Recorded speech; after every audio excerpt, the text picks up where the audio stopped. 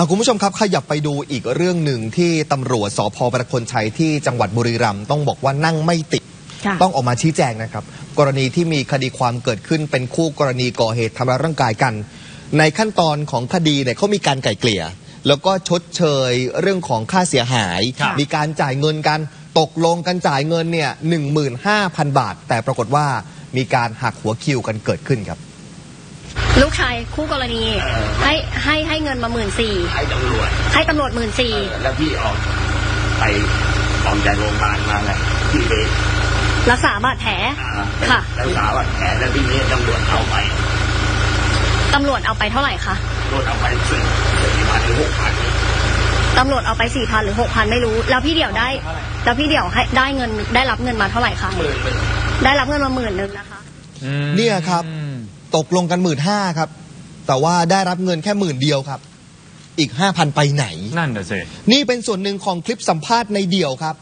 ในเดี่ยวคนนี้อ้างว่าเป็นผู้เสียหาย ถูกแทงเข้าที่บริเวณชายโครงเกือบทะลุปอดครับ แล้วคู่กรณีเนี่ยตกลงจ่ายค่าสินไหมให้ครับ เป็นเงิน 15,000 บาท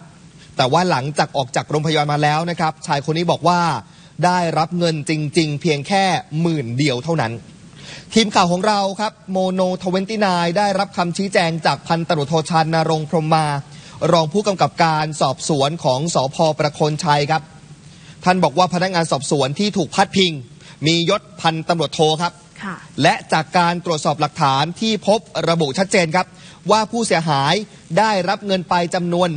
15,000 บาทอืมและจากการสอบถามพนักงานสอบสวนก็ยืนยัน ว่าไม่ได้มีการหักเงินจากผู้เสียหายตามคลิปเสียงดังกล่าวครับ เอ้าผู้เสียหายเขาบอกคุณนะ ได้หมื่นเดียวอะ อืม เอออะคุณผู้ชมทีนี้มาฟังทางฝั่งนี้กันบ้างนะคะ ขณะที่นายสมชายธรรมดาค่ะ รองนายกอบตหนองบอนซึ่งคนนี้เขาเป็นคู่ระคู่กรณีของนายเดี่ยว ก็เปิดเผยบอกว่าภรรยาของนายเดี่ยวคือหลานของเขา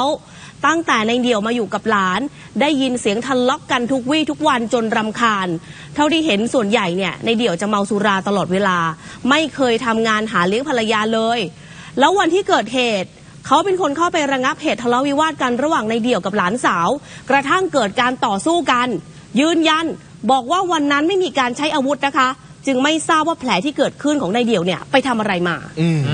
อืมอ้าวนี่อีกประเด็นหนึ่งแล้วค่ะนะครับ อีกประเด็นหนึ่งอะละแต่ว่าเรื่องคดีความเนี่ยก็มีการเจรจานะครับเพื่อให้เรื่องมันจบจบๆลงอะถึงแม้ว่าอืมอาจจะบอกว่าตัวเองปฏิเสธไม่ได้ก่อเหตุนะครับ ก็ยินดีจ่ายเงินให้หมื่นห้าเพื่อให้ในเดี่ยวเป็นค่าใช้จ่ายในการเดินทางกลับบ้านไปที่นครปฐมครับนะครับส่วนภรรยาในเดี่ยวเองก็ให้ข้อมูลตรงกันนะครับ บอกว่าในเดี่ยวนั้นอะไม่ทำการทำงานครับเอาแต่ดื่มเหล้าแล้วก็ขอเงินครับ ก็อยากให้เขาแต่แบบกลับตัวกลับใจเป็นคนดี อย่าไปสร้างความเดือดร้อนให้ใคร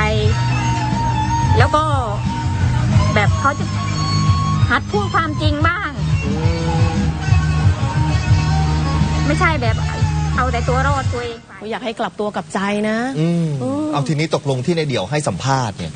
ตกลงพูดจริงไหมเนี่ย นั่นน่ะสิเพราะว่าทางทางภรรยาบอกว่าให้พูดความจริงหน่อยอืมใช่ไหมทีนี้จากข้อมูลคุณผู้ชมครับ หลังจากที่เห็นคลิปของนายเดี่ยวแล้วเนี่ย ทางภรรยาบอกว่า เออพูดวกไปวนมา